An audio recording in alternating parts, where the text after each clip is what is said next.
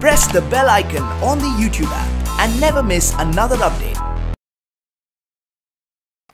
Every one of those names that you took, are you seeing the last year and a half? that That's exactly what it's I'm saying. unreal, unreal the kind of Exactly, success. exactly. exactly. Your luck is rubbing off onto everyone. So, Dulquer, you're going to get a national award now. This is going to rub off Fair onto you now.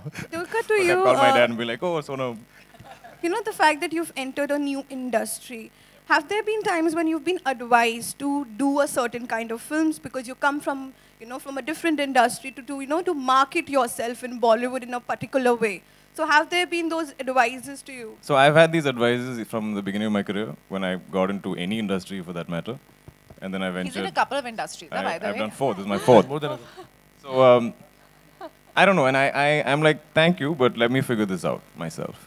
You know, I I don't think uh, my advisors know what's best. I don't think I know what's best.